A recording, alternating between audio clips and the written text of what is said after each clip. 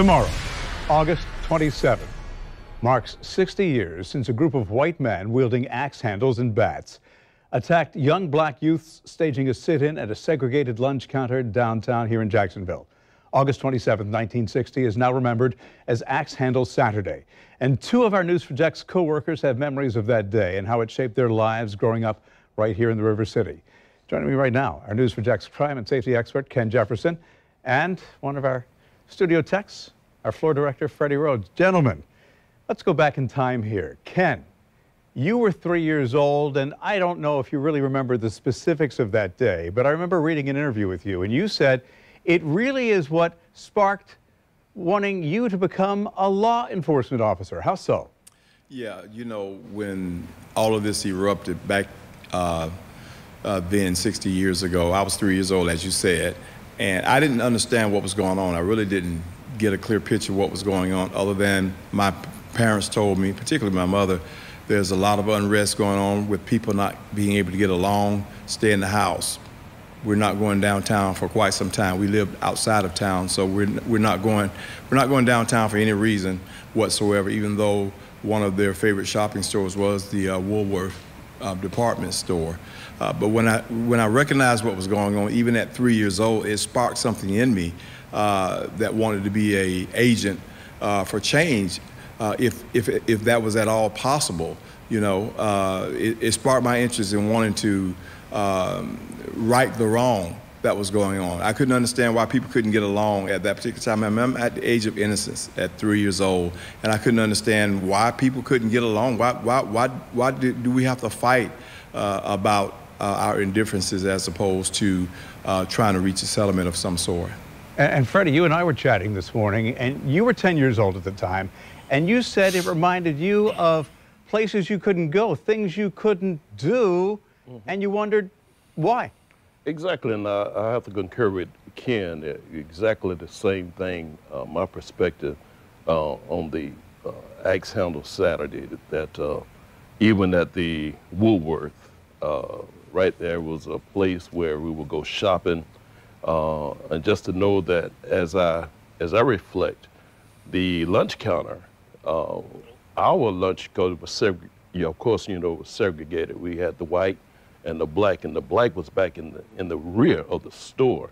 Uh, and I just remember passing. It was so it was so beautiful compared to ours, and I always wondered why. You know, I always wanted to go to that one, but you know, during that time we just couldn't go. And being that young, we just uh, didn't understand why. But uh, as we grew older, those things were explained to us. Uh, of course, you know, I applaud those who really uh, got involved with that because that's where we, a lot of, you can say that's where we, uh, great progress has been made and to the things that we enjoy today because of the sacrifices that were made for those who, uh, you know, really fought for us during that time. You know, a lot of people don't know the history and the role that Jacksonville and St. Augustine, for that matter, played in, the fight for civil rights. And, and, and that said, I still get notes and have over the course of the past couple of days as we've featured some of the events of Ax Handle Saturday from people who goes, why are you focusing on this right now?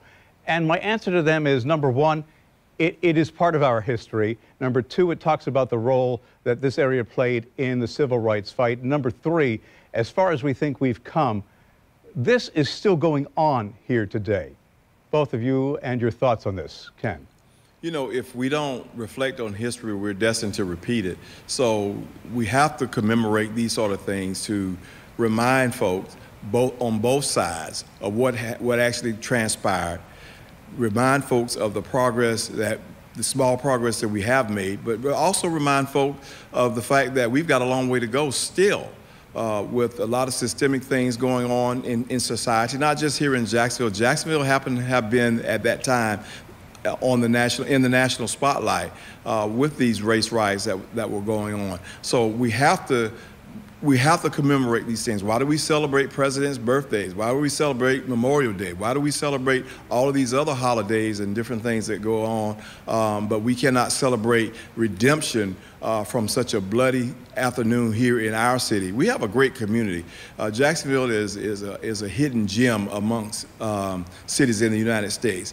Let's not protect and let, let us continue to protect it and preserve it uh, and make it a, a wonderful place for our children, our children's children to want to live and raise a family. Freddie? You know, like Ken said, you know, that, um, you know, because downtown was the primary place that we go for all our shopping. That's all we had. And of course, you know, um, as growing up as a black person, our parents would always uh, relate to us, you know, about, you know, you got to watch out for this group because this group don't like you. So we grew up like that. But only thing we had, you know, because uh, we, we, grew, we grew up like that, so we're used to it. It was like the normal for us. We had our own beaches. We had our, like you said, even with the lunch counter, we had our own lunch counter. But as we passed those things, it seemed like the things that were just for, for whites was so much better than we had. I, I like to recall even to uh, Jacksonville Beach, um, because at that time we only had the American Beach.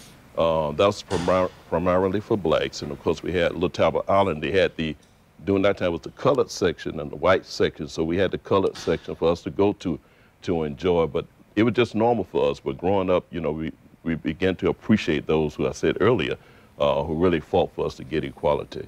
Look, and the reality is none of us can bury our heads in the sand. There is still hatred in this community and, and nationwide, whether it is a sentiment against blacks, Asians, Jews, because anti Semitism is still very much alive. And we all have to go ahead and fight it.